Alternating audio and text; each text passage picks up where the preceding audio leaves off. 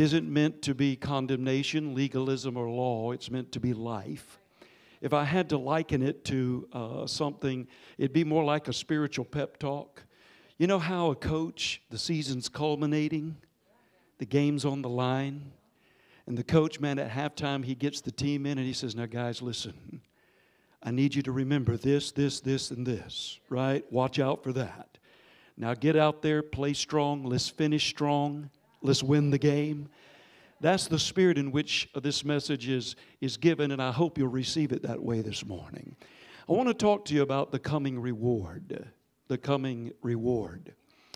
You know, throughout my uh, tenure as a minister, I've had the opportunity of being a, a, commencement speaker at various Bible school graduations, commencement services, both uh, here in America and abroad. And of course, uh, we were gathered in those times to acknowledge and to reward individuals for their academic accomplishments. But many times, as I stood before uh, those students, cognizant of the fact they were about to receive a diploma, I would often reflect upon the reality that one day, and I believe one day soon, every single one of us will stand before the King of Kings, the Lord of Lords, who will at that time acknowledge and reward all of those who have been faithful to serve Him and to carry out uh, His kingdom purposes in the earth. I think it's vitally important that we understand and assess and uh, very soberly and attentively so the times in which we're living. How quickly this dispensation is culminating, and why we do what we do, and why we live as we live uh, like Christians in the family of God.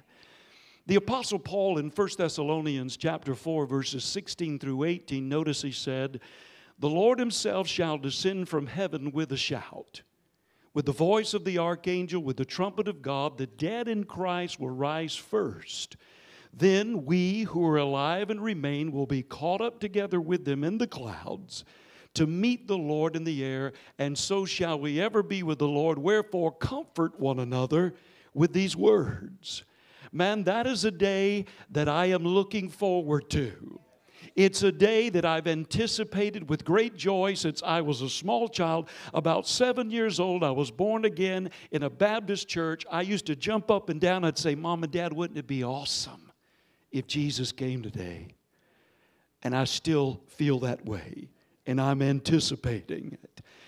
So, not only is Jesus coming to catch away this glorious church to ultimately bind Satan, restore righteousness and justice in the earth, but the Bible says when he comes, he's bringing something with him. Revelation chapter 22, verses 12 through 14. Notice the words of Jesus Behold, I'm coming quickly, and my reward is with me to give to everyone according to his work. I'm the Alpha, I'm the Omega, I'm the beginning, the end, the first, the last. Blessed are those that do his commandments that they may have right to the tree of life and may enter in through the gates into the city. As I said, you know, that's a day that I'm looking forward to, and it's one that I think should be a constant source of reflection in the hearts and the minds of every Christian. That immediately following the catching away of the church will be what we term the great tribunal of the church. Uh, the scripture terms it more specifically the judgment seat of Christ. Now, I realize that the word judgment has a tendency to make people nervous. But the judgment seat of Christ has nothing to do with one's salvation. It will not be the time or place where your destination, heaven or hell, is determined.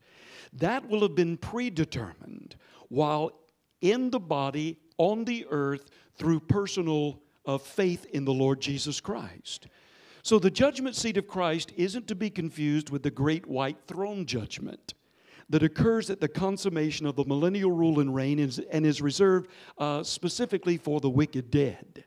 But the judgment seat of Christ is exclusively for you and for me, believers. And it is the time and place where our works, our deeds, our actions as Christians will be evaluated and we will be rewarded accordingly. I mean, people get excited. I don't, but people in the world get excited about the Emmy Awards, the Grammy Awards, the Tony Awards, the Oscars you know. And of course, those are ceremonies where people are acknowledged and rewarded, so to speak, for their areas of artistic ability music, singing, script, theater, and so forth. Uh, acting. How many of you know you and I are going to get a reward for acting also? Acting like the Bible was true and living our lives in accordance with it because it is. Listen, their reward is earthly and temporary. Yours and mine is eternal. Their walk down that red carpet will pale in comparison to our walk down the streets of gold with a crown of righteousness on our head. Paul speaks of this occasion several places in the New Testament, one of which is in 2 Corinthians 5:10. And notice what he said, we must all appear before the judgment seat of Christ, that each one may receive the things done in the body, according to what he's done, whether good or bad. So the reality is, once again, every single one of us will appear before this judgment seat of Christ, and we will give an account of our lives while in the body and the works that we've done. And at that moment, when I am looking at him face to face, and you likewise, what others thought about my words or my deeds will be of no consequence. It will be expressly his thoughts and his judgment that matters. It won't necessarily matter how many trophies I had on the shelf, what kind of clothes I wore, house I lived in, or car I drove, or how much money I had in the bank. Although we understand it isn't an infraction against kingdom living to have and enjoy those things. But at that moment, the only considerations will be Did I please you? Did I obey you? Did I apprehend the things that you apprehended me for? Did I run the race that you marked out for me to run, or did I pursue my own agenda, my own comfort, my own pleasure? Was I kind to others? Did I serve you and others with a willing heart? Did I reach the high calling of God in Christ Jesus? Did I love my neighbor as I love myself? Did I love you with all of my heart, my soul, my mind, my strength? These are the kinds of questions we're going to be rehearsing at that moment. And the only way that you and I will be able to answer those questions with an affirmative yes is if we live our lives now with a clear sense of purpose and direction and run this earthly race with an eternal perspective. It's so easy to become consumed with our natural life, isn't it? To be preoccupied, particularly now with all the voices and the commotion that is in this present world, and forget what this life and our journey through this life is really all about. The Bible likens our, our life in Christ to a race that we're running. It isn't a sprint, it's not the long jump. It's a marathon. So we've got to pace ourselves. We have to discipline ourselves. We have to talk to ourselves when necessary. We've got to encourage ourselves. And we got to keep our focus. And so this morning, as a part of the pep talk, right?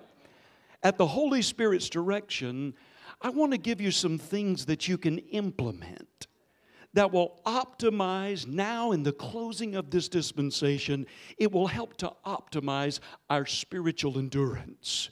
It'll help us finish our race well, right? And so, uh, and, and enable us to stand, I suppose, with a sense of confidence on that day. I call them things to keep, things to keep. And so the first one, if you're taking notes, it's found in Hebrews 12, 1 through 2. Hebrews 12, 1 through 2, uh, the Bible says, Wherefore, seeing that we're compassed about with so great a cloud of witnesses, let us lay aside every weight and the sin which does so easily beset us. And let us run with patience or endurance or steadfastness the race that is set before us, looking unto Jesus, the author and the finisher of our faith, who, for the joy that was set before him, notice, endured the cross, despising the shame, and is sat down at the right hand of the throne of God. Notice verse 2 looking unto Jesus. The first thing I want to encourage you to keep this morning as we're finishing this race, keep your eyes on Jesus. Keep your eyes on Jesus. Any experienced runner or someone that's involved in competitive racing, they will tell you that the moment you take your eyes off the finish line, you take your eyes off the goal. You get distracted by the people around you and the things around you, is the very moment that you hinder your ability to run the race successfully. That's why the Bible says, look, you need to keep your eyes on Jesus. Notice it doesn't say keep your eyes on your neighbor or your fellow Christian or church member or family members or coworkers. Why? Because people can be very distracting if we allow them to be. Guys, none of us are perfect. We all have areas that we can work on. But if we're not careful, we will allow ourselves to begin to zero in on the faults and what we perceive to be the faults and inadequacies of other people. And then we can allow their actions to begin to influence our own attitudes and outlook, right? And so that's why the scripture says, look, man, keep your eyes on Jesus because I know people that have not entered the doors of a church for 20 years because somebody in the church offended them. Well, look, your eyes are in the wrong place. We got to keep them where they belong. There'll always be distractions along the way. Satan is the master of distraction. Things are going to happen in life. They're going to happen in this world. They're going to happen in our personal life, our church environment, our work environment. But if you and I are going to run this race successfully and finish well, we're going to have to keep our eyes on Jesus. Notice Proverbs 4 25 through 27 in the Message Bible, it says, Keep your eyes straight ahead. Now, watch this. Ignore all the sideshow distractions. and boy, there's plenty of those in the world right now. Ignore all the sideshow distractions. You and I have a choice as to what we give our attention to. It goes on to say in verse 26 watch your step, not your neighbor's step, watch your step and the road will stretch out smooth before you. Look neither to the right nor the left. Leave evil in the dust. Woo!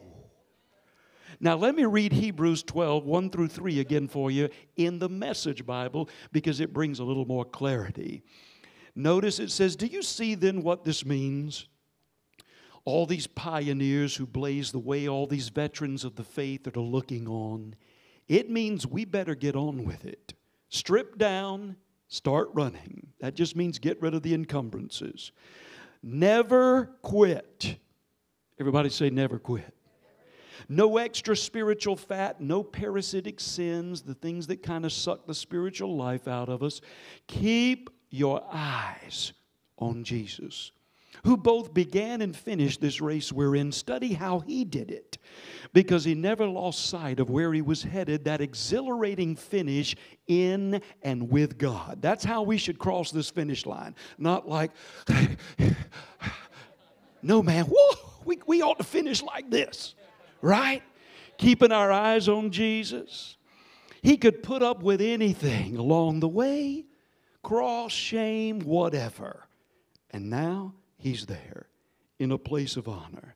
Right alongside God, when you find yourselves flagging in your faith, go over that story again, item by item, that long litany of hostility that He plowed through.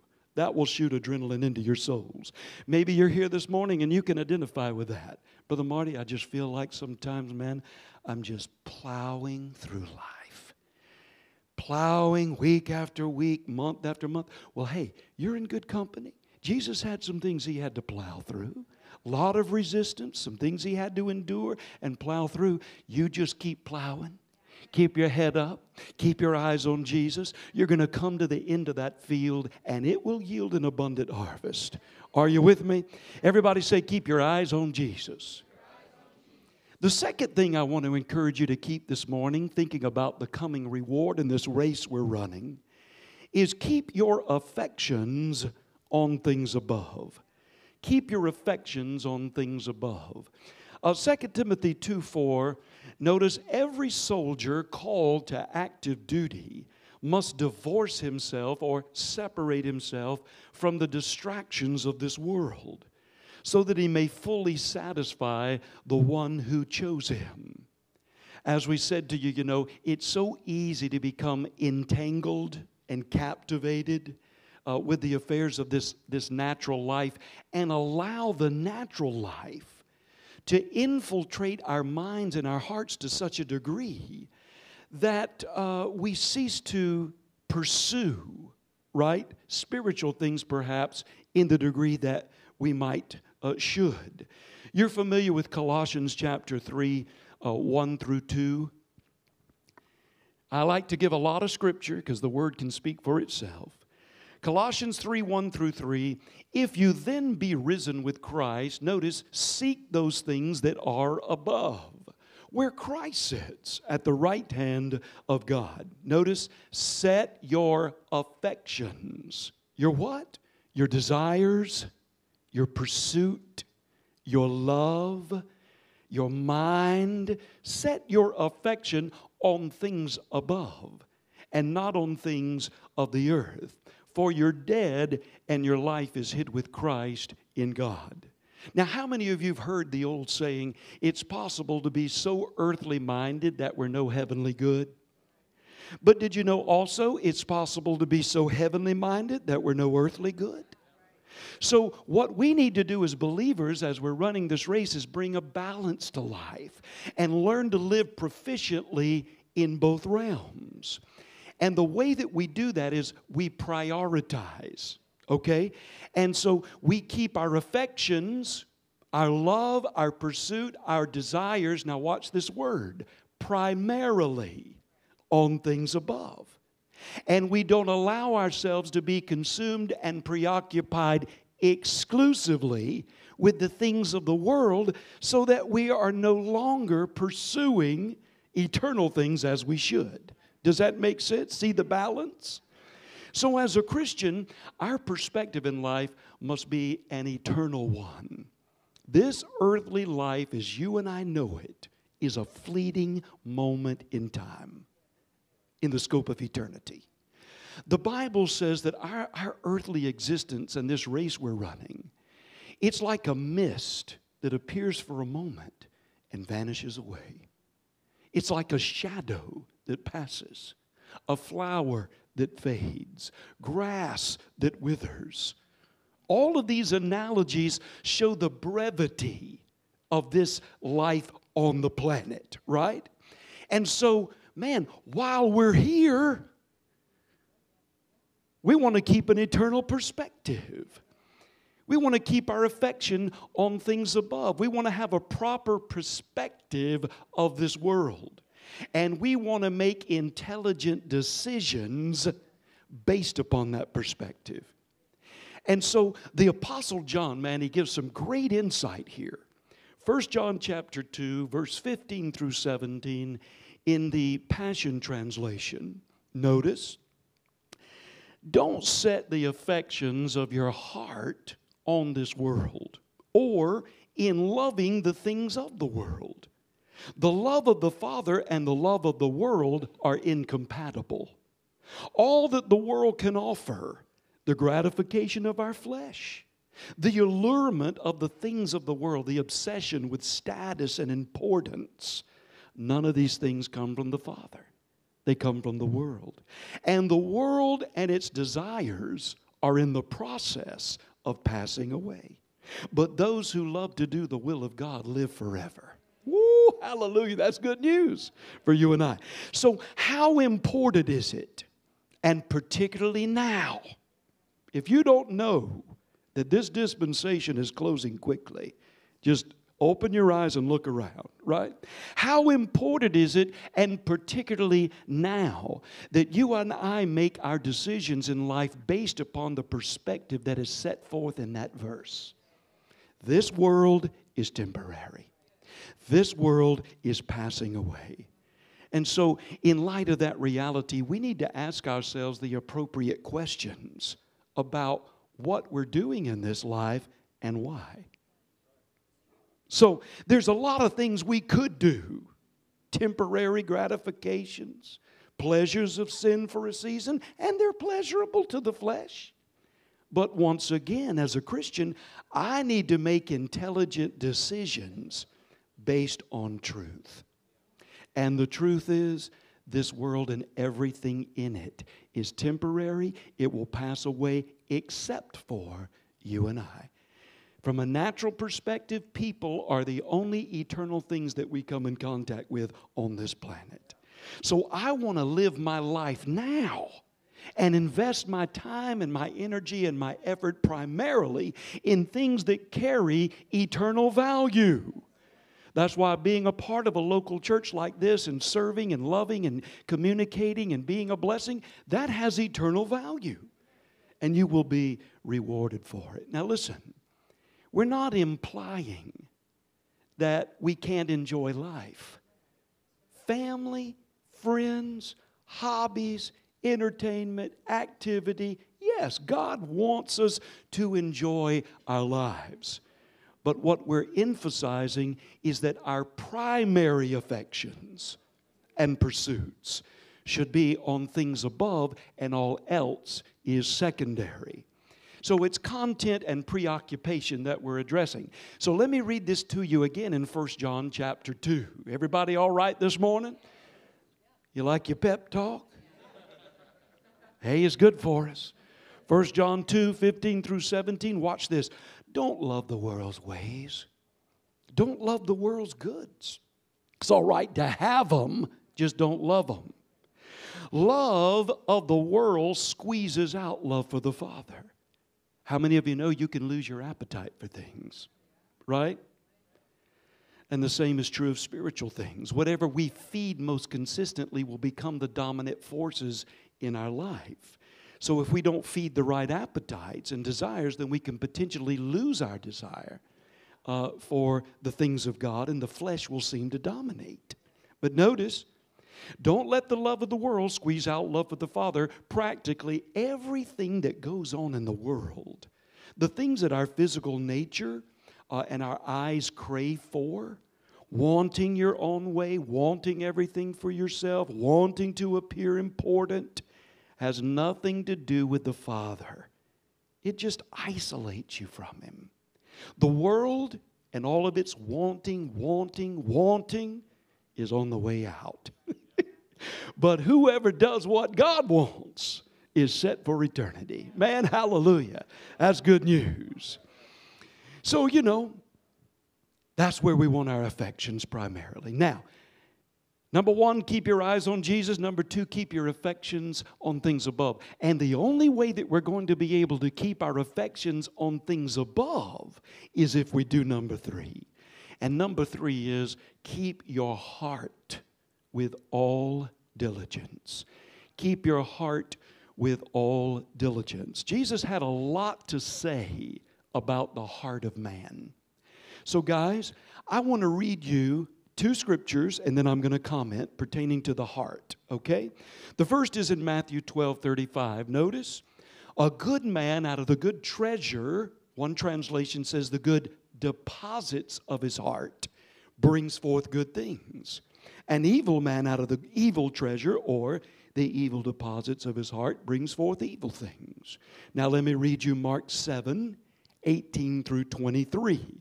This is out of the 26 translations. Notice, Nothing that goes into a man's mouth from the outside can defile him or make him unclean. Why? Well, because it doesn't reach into his heart, it goes into his stomach and passes out of the body altogether. It is what comes out of a man's heart that pollutes him. For from inside a man's heart come evil thoughts, adultery, theft, murder, jealousy, slander, arrogance, all of these evils issue and proceed from within. Now, we understand as a Christian, we're a new creation, we've been given a new nature. But the heart of man is where the spirit and soul unite, it is the seat of your person. Okay?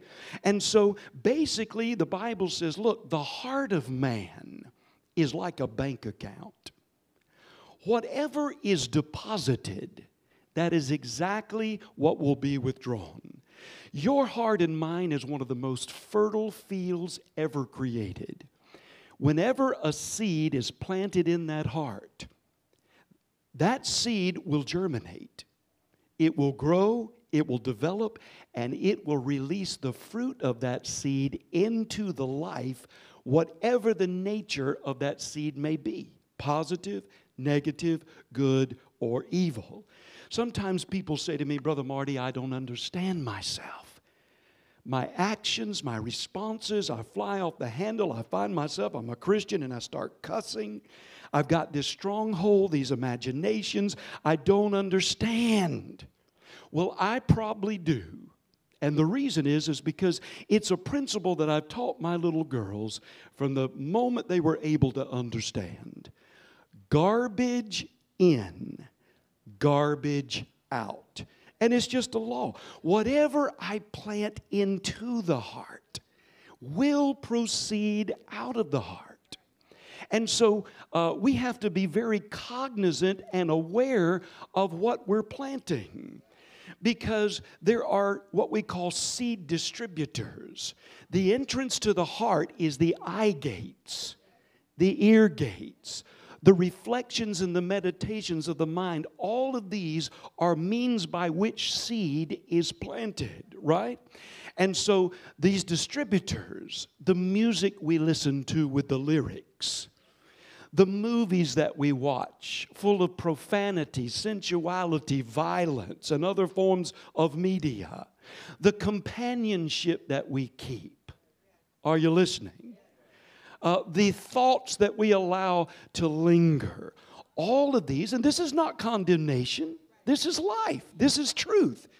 I didn't know this when I was young. I wish I would have, right? But I learned it. And so all of these are seed dispensers. And did you know the reality is our heart is non discriminatory where seed is concerned? That's my job. I'm the gatekeeper.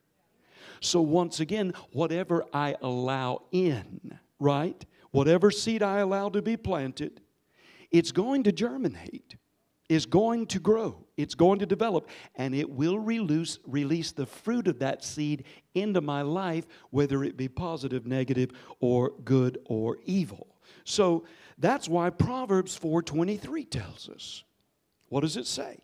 Keep your heart with all diligence because out of it are the issues of life. Right? One translation says, above everything that you guard, guard your heart, because your heart is the fountain from which your life springs. Amen? So, once again, what we see, what we hear, what we surround ourselves with, the company we keep, all of these things can have a profound impact. And we want to reflect the glory of God, the person of God. And so you might be saying, yikes, this morning, you know, hey man, I, I, I, I, I, planted some bad seed. I've been there before I knew truth. But I got some great news for you. How many of you know the Bible says the word is like water that washes? Right? How many of you know a, har- a, a, a farmer can plant new seed and get a new crop? So, what you do is you just start inundating yourself with the Word of God. Get a podcast, man, start listening to the Word. Uh, you know, hear your pastor, uh, read the Word, listen to the Word. And what do you do? You just begin to wash your heart, wash your consciousness, and that seed will germinate, grow, and develop, and it will displace all the old. You can take a, a, a, you know, you've seen a glass, maybe milk in the bottom, or you got a container and it's kind of dirty in the bottom. You put it under the faucet and you turn that faucet on full blast. What happens? The force of that water displaces, that's a law of physics, what's in the bottom of that glass. The same thing can happen in the heart of man. We can displace the old and bring in the new. All right? So even though we're new creations, we still have to guard our heart. All right? Because it can be contaminated. So John G. Lake said this. He said, if one would be a Christian, I mean a real one, he said, he must close the mind, close the heart, close the being to all that is evil, and live with an openness to God only. So that the glory of God shines in but all that is dark is shut out. Now, don't be under condemnation this morning. If you say, Well, I need to do some displacement, well, go ahead and do it, right? That's good news, all right? Everybody say, Keep your heart with all diligence. Woo, team! How many of you can take two more? How many give me five more minutes? Anybody? Five, ten, fifteen, twenty, twenty-five. All right. Praise God. Two more. All right. We're talking about finishing this race strong, standing before Him, running our race. Amen. Uh, the, the fourth one is found in Jude, verses 20 and 21. But you, beloved, building up yourselves on your most holy faith, praying in the Holy Ghost, notice, keeping yourselves in the love of God looking for the mercy of our Lord Jesus Christ unto eternal life. Number four, keep yourself in the love of God. Now, for most of us, that's a full time job, right? But notice in John 13 34, Jesus made this statement. He said, A new commandment. Notice he didn't say a new suggestion right? He said, A new commandment I give you that you love one another as I have loved you. So it's not a suggestion, it's a command, and so we obey it as you've been well taught by choice. Right? We've got natural laws, we've got spiritual laws. Out here on the road, I noticed you've got a speed limit posted. That's a natural law. We obey that speed limit by choice because we know if we don't, that we could suffer the potential consequences. And I must admit, I have uh, ignored and suffered those consequences on occasion. But this law of love is exactly that. And we must obey that law by choice. And, and Jesus gives us, or the Apostle John uh, gives us some insight in the, into the nature and the character of this kind of love God's talking about. Over in 1 John 4, verse 7, and then also 10 through 11, 1 John 4 7 and then 10 through 11. Notice, beloved, yes, sir, let's love one another. For love is of God. Everyone that loves is born of God and knows God. Now, watch how he describes this love. Verse 10 In this is love, not that we loved God, but that he loved us. One translation says, first loved us and sent his son to be the propitiation for our sins. Beloved, if God so loved us, we ought also to love one another. Now, notice it says not that we love God, but he first loved us. Irrespective, initially, of our spiritual condition, our rebellion, our response, our faults, our imperfections, he loved us, in a sense, unconditionally, right? And so basically, the Bible says, while we were yet sinners, Christ died for the ungodly. So the Bible says, look, God said, if I can love you with your imperfections at times, your shortcomings, your self centeredness, or unkind words or deeds. For goodness sake, can't you extend that same love and courtesy and make considerations for the people around you? And isn't that true? None of us are perfect. We've already said that. We're going to make mistakes at times. We're going to react and respond improperly. But God said, Look, make allowances for one another extend to others the same love and mercy that you look to me to extend to you. And so in Mark 11, 25 through 26, I love this passage of scripture. Jesus talking about forgiveness, you know, in its connection to love, uh, excuse me, to faith and prayer and so forth. He said, whenever you stand praying, if you have anything against anyone, forgive him. Let it drop. Leave it. Let it go. In order that your Father who is in heaven may also forgive you of your own failings and shortcomings, and let them drop. But if you do not forgive, neither will your Father in heaven forgive your failings and shortcomings. Good Lord, man. I don't know about you, but I need to be on the mercy end. right? And the Bible says, He who gives judgment without mercy will receive judgment without mercy. So I want to I want to extend mercy. I want to be forgiving. Because if we're not careful, we can allow what the Bible says roots of bitterness to get down on the inside. How many of you know how a root of bitterness uh, develops? Through reflection. Constantly allowing our thoughts to reflect. How dare you treat me like that? What you said, how you treated me you know, and we reflect and we rehearse until the seed goes down into the heart. And then the fruit of bitterness springs up. And Hebrews chapter 12 says, man, it starts defiling us, right? Emotionally, mentally, relationally, physically, right? And so we have to, to be careful of that. And then it says it'll begin to defile the people around us because it just comes out, right? And, and, you know, listen, all of us have situations and circumstances in life. Uh, you know, I was 18 years old. I was raised Southern Baptist. 18, I went to a Bible study, received the baptism of the Holy Spirit. And that was the summer before I went off to college. So I go on, off to college in Alabama. Uh, a freshman, we had three of us in a room. So I had two roommates. So both my roommates were out of the room. So I said, Oh man, I was so excited, on fire. You know, I, was, I said, I'm going to pray in the Spirit. I'm going to worship God. So I got down to pray in other tongues. And I was just worshiping God. And all of a sudden, I'm in the Spirit and I have a vision. And listen, I'd never had anything like that. But my eyes are closed. I'm seeing in the realm of the Spirit. And all of a sudden, this huge file cabinet appeared before me. And you know how on the outside those drawers are labeled alphabetically, sometimes categorically on a file cabinet? All of a sudden, here's this massive file cabinet, and the vision, it scrolls down to the bottom drawer. And on the bottom was written the word unforgiveness. And this huge hand came and opened that drawer. And when it did, out popped the head of my dad. Now, I don't mean this respect, disrespectfully to my dad. My dad's in heaven, he's a precious man, and I'll tell you the story. But out popped the head of my dad. And the Lord said, You have unforgiveness against your father, and you need to let it go.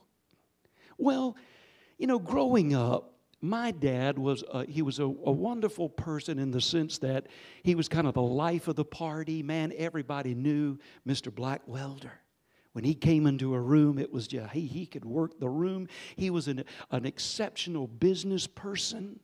And he was good in the sense he was a wonderful provider. But my dad was raised by two alcoholic parents. He was abused in a sense verbally and physically at times growing up. And so he had an anger issue. And I mean, you never knew when, it, when he was going to get set off. And if he did get set off, you better run. You better run to your room, mama, sister, me included, because you wanted to get out of there. So I grew up in my early years walking on eggshells, tense. You don't want to set daddy off. Now, he was affectionate, he loved you, but it could flip. See what I'm saying? And I resented it. And I resented the way he treated my mom at times as a son. So, man, I, I just pushed it down. I didn't really realize. But when the Lord brought that up, man, I, I released my father that day. I let it go. I said, Oh, I love my dad. Father, I forgive him. And I, I was weeping, you know. Little did I know that it would affect my spiritual life in a positive way, but it also released my father. And I started praying for my dad. And God is my witness. About a year later, I was home in the summertime from college. My dad came home weeping uncontrollably. And I said, Dad, what, what's going on? He took my mother in his arms and was crying and said, Forgive me, forgive me. He said, I was sitting in my office and I, I had a vision. He said, My whole life opened before me as a curtain, and I saw myself as I really am. And it changed his whole life. He was gloriously, you know, I say saved. My dad was probably saved, but he was just, you know, hurt too. When you see where other people have come from, you have more compassion because they have a past too. And my dad, after that, man, he finally got baptized in the Holy Ghost. He was so precious, 40 years of his life. I mean, he would cry at the blessing at Thanksgiving. I'm saying, Dad, this is the prayer, this is the blessing. you know, he was so tender and so precious, you know. So praise God. Everybody say, let it go. Let it drop. All right, I don't mean to talk ears off, but here's the last one now. Well, let me give you this scripture 1 Corinthians 14 1. It says, Go after a life of love as if your life depended on it, because it does. Daryl Copes, he used to travel with us. He was a bass player. He'd say, Flesh is flesh no matter whose bones it's on. Right? We've all got it. But you know what we're going to do in 2022, starting this morning and, and till Jesus comes? We're going to walk in love. We're going to forgive the people that have hurt us and wounded us, right? And we're going to be a blessing. So here's the fifth one. Number one was keep your eyes on Jesus, keep your affection on things above, keep your heart with all diligence, keep yourself in the love of God. And number five, keep on keeping on. Come on, let's finish this thing strong, right? Keep on keeping on. Galatians 6 9 says, Let's not grow weary in well doing or in doing good, for in due season we'll reap if you do not lose heart. We've got a race to run, guys. We got a course to finish. We've got good works to accomplish. Let's let our testimony be the same as the Apostle Paul's in 1 Timothy, uh, 2 Timothy, excuse me, chapter 4, verses 7 through 8. 2 Timothy 4, 7 through 8. Notice his testimony. I fought a good fight. I finished the race. I kept the faith, and finally, that's what we're going to say. Whoo, finally, there's laid up for me a crown of righteousness, which the Lord, the righteous judge, will give me at that day, and not to me only, but to all those who love his appearing. A crown is a symbol of honor, it's the emblem of a champion. It denotes a place of dominion and rulership. That's the place that he's prepared for us. But guess what, man? We got to run. We got to run to win. 1 Corinthians chapter 9. Look at here, 24 and 25.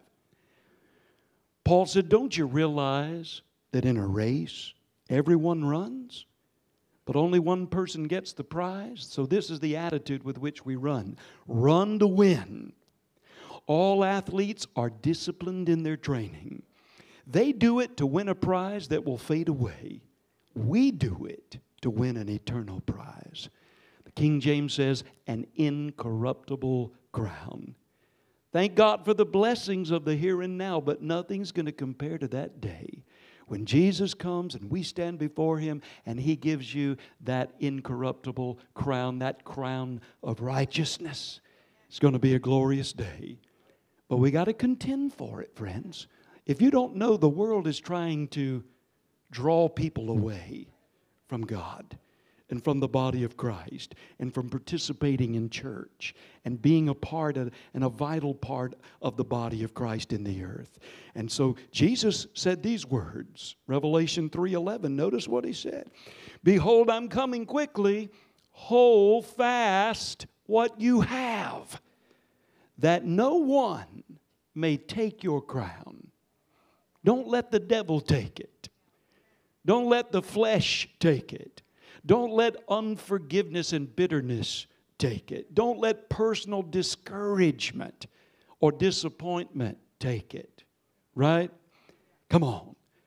Let's forget yesterday. Let's run the last leg of this race with tremendous determination. Are you with me?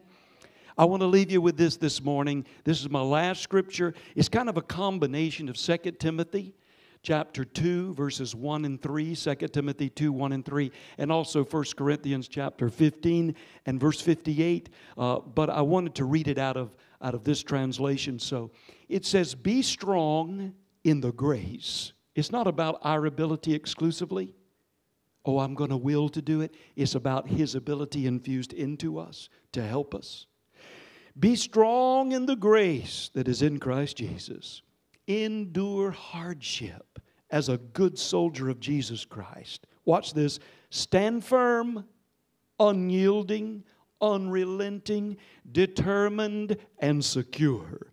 Live your lives with an unshakable confidence, knowing that you prosper and excel in every season by serving the Lord. And your union with the Lord will make your labor productive with fruit that endures.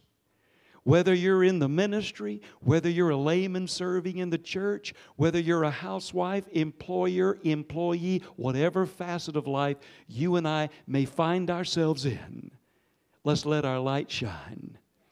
Let's live for Jesus. Let's run our race well and let's finish strong. Can anybody say amen? So here's what I want you to do, if you don't mind. I want you to say, I will run my race I will finish my course. I will keep my eyes on Jesus. And you can put that up there for him, uh, Patrick. I'll keep my eyes on Jesus. I'll keep my affection on things above. I'll keep my heart with all diligence. I'll keep myself in the love of God. And I'll keep on keeping on.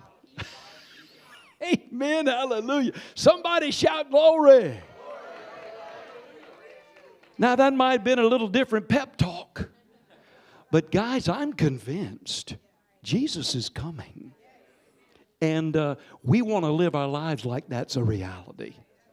So, when you go home today, don't forget these words, rehearse them. Keep them in your heart and mind. Uh, Patrick, if you'll start that uh, CD just for a moment, that MP3. Guys, let's close our eyes for a moment. I just want to wait on the Lord if you don't mind. Give me just a little bit more volume of that. Just listen. We all live this life, we all encounter different things, different battles we fight different situations we face. As you're sitting in that chair right now, I just want to give you a moment for introspection, so to speak, reflection. If there's some conversation you want to have with the Lord, maybe you say, Man, I, I just haven't guarded my heart as I should. I've been opening up to things that are not good. Well, you can just make your amends there. And pledge to do a better job and ask God to help you. Maybe there's some uh, offense. People have earnestly hurt you, and that can happen. And you need to let it go. Well, just do that. It doesn't take a vision, an emotion. You can just say, I forgive. So just take a moment there. Whatever you may need to talk to Him about, you do it. Thank you, Lord. Thank you, Jesus. Praise you, Father. You know, when we say walking in love, it doesn't mean you have to be someone's doormat or stay in an abusive situation.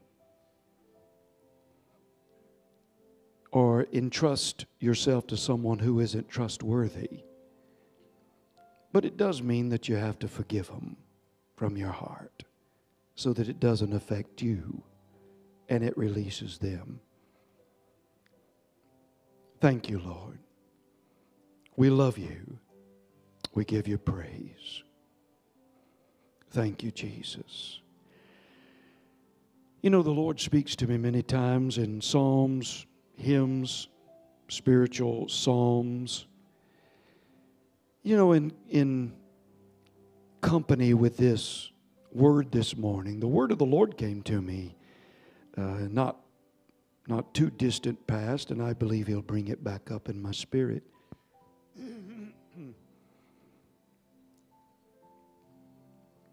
But he said, The gathering of the saints is drawing near. So open your heart and be attentive and hear. For this race that you're running, it carries eternal glory and weight. And your reward will be waiting the day that you enter heaven's gate. So lay aside every encumbrance and set your affection on things above. And keep your heart with all diligence and walk in a spirit of love.